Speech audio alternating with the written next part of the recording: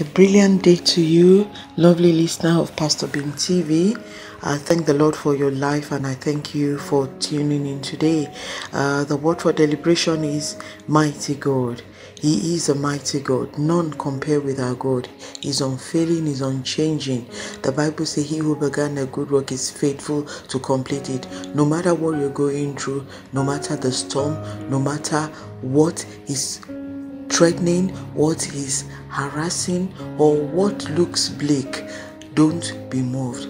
Keep to Jesus. Hold on to Him, for He is indeed a mighty God. He will do far beyond what you can ever imagine because God is good.